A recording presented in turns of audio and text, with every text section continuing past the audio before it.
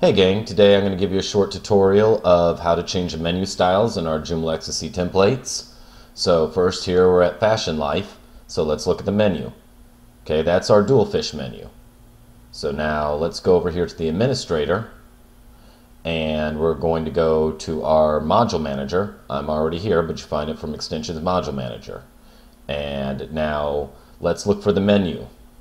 Over here, I'm already here, but you can say, okay, I just want to find the menu. Here's the menu. So now you'll see all the menus we have. Our menus are in the menu bar position. So you're going to want to open the main menu in the menu bar position.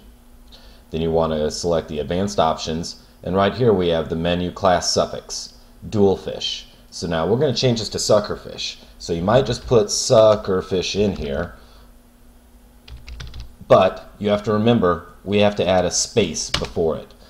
The reason we add a space is because there's already a class assigned to it, so we're just adding this class on. So it will go ahead and put the additional class to the original style that's in there.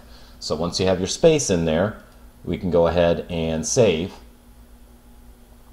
And we'll go back to the site and we're going to refresh. And now we have the suckerfish one column menu.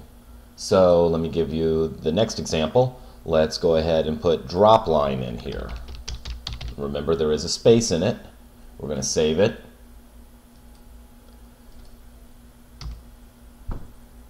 Refresh the site.